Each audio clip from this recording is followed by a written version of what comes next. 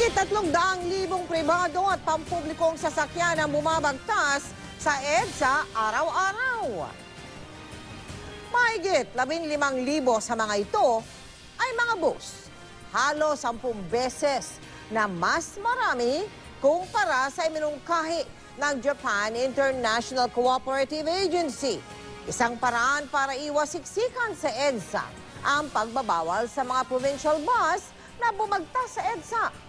Magkakahulihan na nga sa darating na Miyerkules. Mula sa Alabang Muntinlupa, nakatutok live si Mariz Umali. Mariz!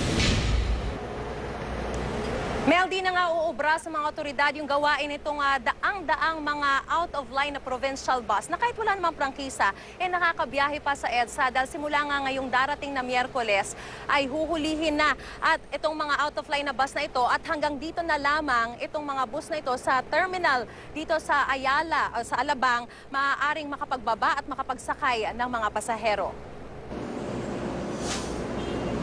Simula ngayong Miyerkules dito sa bus terminal sa Philinvest Alabang na lang maaaring magsakay baba ng mga pasahero ang mga provincial bus galing South Luzon na hindi pwedeng pumasok sa Metro Manila batay sa kanilang prangkisa.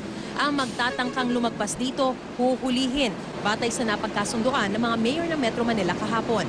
Aabot daw sa 556 ang mga out-of-line provincial bus na pumapasok sa Metro Manila kahit limitado ang kanilang prangkisa. Ang natitirang 583 pang ibang provincial bus na may prangkisa hanggang Loton, papayagang makapasok hanggang Buendia.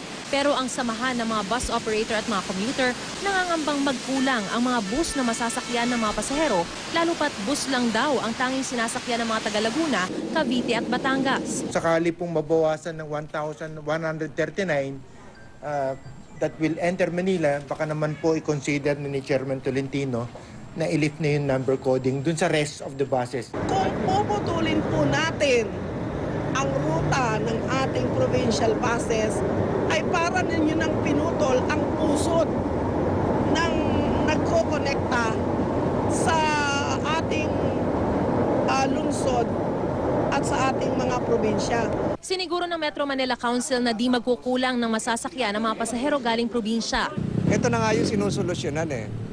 Ngayon, kung ayaw niyong masolusyonan ito, eh talaga mas malaki yung problema natin.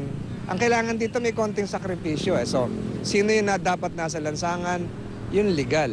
may mga units pa rin silang makakatuloy doon sa kanilang mga terminal Malaking tulong daw yung mga mababawas na mga bus para maibsan yung matinding traffic. Pero kung nakakasana ang paghuli doon sa mga out-of-line ng mga provincial bus galing doon sa south, eh yung paghuli naman doon sa mga galing sa norte, eh mukhang maantala pa. 266 naman ang sinasabing out-of-line provincial bus mula sa norte. Mayroong maglulunsad ang grupo ng mga commuters na ito ng pagkilos na kung tatawagin nila ay boss o bringing order and safety in the streets. Mel? Maraming salamat sa iyo, Mariz Umali.